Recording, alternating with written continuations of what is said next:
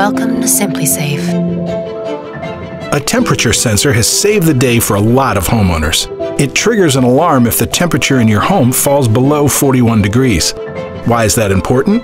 Well, if you have a second home, for example, it can save you from costly repairs due to burst pipes. You can also use the sensor to set an upper temperature limit to protect precious objects like instruments or paintings in a climate-controlled room. With a SimpliSafe monitoring plan, we'll also call you or send an SMS and email alert when the temperature sensor triggers an alarm. Additionally, you can access hourly readings of your home's temperature in the app. SimpliSafe on.